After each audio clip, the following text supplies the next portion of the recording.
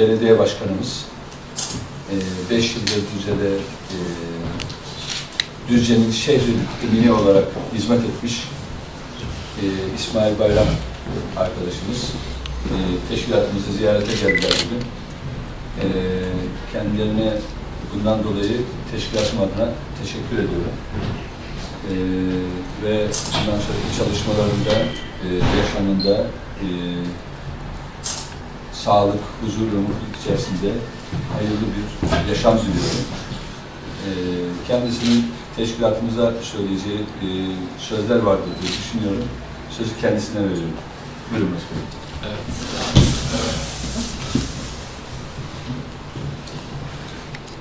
Teşekkür ediyorum başkanım. Ee, bildiğiniz gibi e, aday adaylığı süreçleri bizim için netleşti. Ee, yeni dönemde aday değilim belediye başkanlığı göreviyle ilgili. Ee, tabii şimdi 5 yıldır bir görev yapıyoruz. Bu görev nedeniyle birçok insanla işte haşır neşir olduk. Belki zaman zaman sıkıntılar yaşadığımız da olmuştur. Ama işbirliği içinde birçok kurum, kuruluşlar, birçok belediye başkanıyla, teşkilatlarımızla birlikte çalışma yürüttük. Bu kapsamda tabii bir takım ziyaretlerde bulunuyorum. Evet. Ee, ilçeleri geziyorum. Belediye başkanlarımızı ziyaret ediyorum. Ve mutlaka e, gittiğim yerde de teşkilatımızda da bir ilçe başkanımız varsa arkadaşlarla görüşmek istiyorum. Bu tabii e, teşkilatlarla ilgili ziyaretin bir veda değil. Ama Daha zamanımız var. e, tabii ki bir veda değil.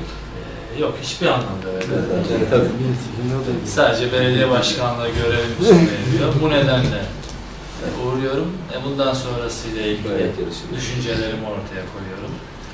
E, Ve tabii ki siyaset devam ettiğine göre, hepimiz bir parti çatısı altında olduğumuza göre e, teşkilatlarımızın bana söyleyeceği şeyler varsa onlarla ilgili e, görüşüyorum.